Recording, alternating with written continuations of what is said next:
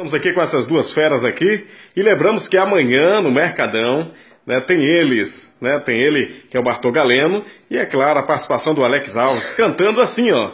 No toca-fita do meu carro, uma canção me faz lembrar você. Acendo mais um cigarro e procuro lhe esquecer. O meu lar está vazio, você tanta falta me faz. Mas cada dia que passa, eu te amo muito mais. Valeu! Cada dia que passa, eu te amo muito mais.